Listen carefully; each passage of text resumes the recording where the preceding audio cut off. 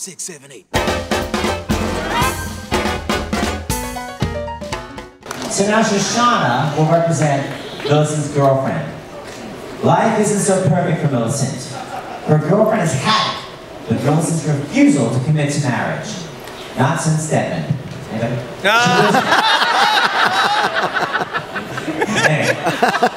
Millicent's girlfriend feels rejected and has a brief affair with a trumpet player.